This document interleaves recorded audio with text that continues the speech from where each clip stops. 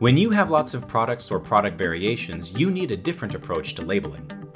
Manually typing in your product data can quickly become unmanageable, and you don't want to waste time updating hundreds of fixed label templates for every change and update. One straightforward solution is to collect your labeling data in an Excel worksheet and connect your Excel data to a variable label template. This process allows you to change only one template instead of hundreds for each of your products.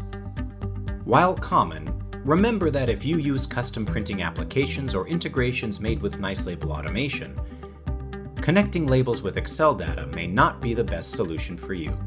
Consider connecting your printing applications or automation configurations directly to your database instead. In this video, you'll learn how to connect your label templates to Excel worksheets, and how to print multiple label variants with variable data from Excel. If you have Label Cloud or LMS, store your Excel files in Documents in Control Center. Otherwise, store your Excel files locally or on your network. Today you'll work with a local Excel file that gets installed with NiceLabel. You can find it in your Samples folder.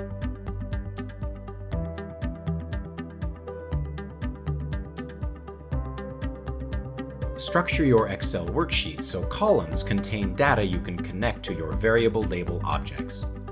Your Excel worksheet rows should contain your different products or product variations.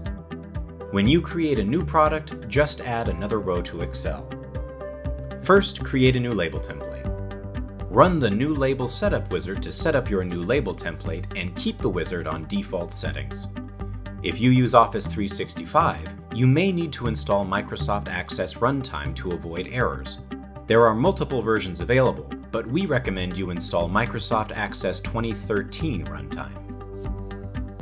To connect your label template to Excel, click the Data tab, and then click Excel in your home ribbon to run the Excel Database Wizard.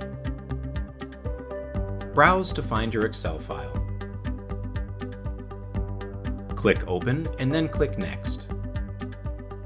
If your Excel file contains multiple worksheets, choose which worksheet to use by selecting it from the table dropdown. Choose which columns to use on your label template and click Next. Choose how many labels to print for each record and click Next. Choose whether to create dynamic objects on your template connected to each of your selected Excel columns. Click Next to see a preview of your Excel data and choose additional options. Click Finish to complete your connection and create your dynamic text objects connected with Excel data. Each text object contains values from your first Excel row. You can view and manage your data sources and connected Excel columns in your data pane or Dynamic Data Manager.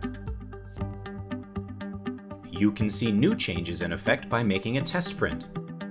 At print time, Designer prompts you to select which products to print you can select individual rows to print from your populated Excel data.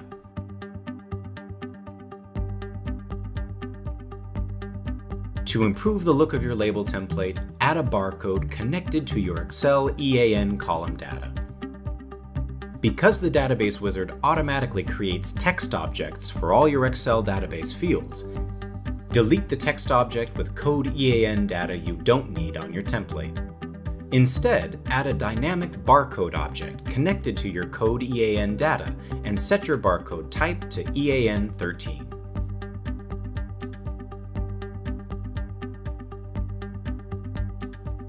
Your product descriptions are long strings of text that change from row to row in Excel. To make sure your data displays correctly on your label template, Replace your dynamic text object connected to your description column with a dynamic text box object with the best fit option enabled. Reposition your other text objects to make room for your text box. Drag the text box object borders to resize it on your template. In text box properties, click Style and Text Fit to enable fit content by adjusting the font size. Now your Excel product descriptions of different lengths scale to fit in your dynamic text box objects on your label template. Continue designing your label by adding fixed and dynamic objects, choosing object properties, and adding additional data sources.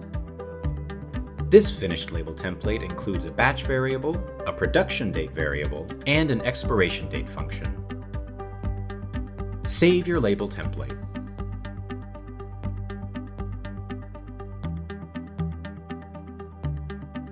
With your template connected to your Excel data, at print time you can print all records, print only some of your records, or use a search filter to retrieve and print only specific records. You're now using the same universal label template to print labels for all your products with data from your Excel worksheet. You can use this same process to connect and use data from other database types like Access or Microsoft SQL on all your label templates. That's it. Thanks for watching. Check out our other videos to learn how NiceLabel helps you do more, faster, with less.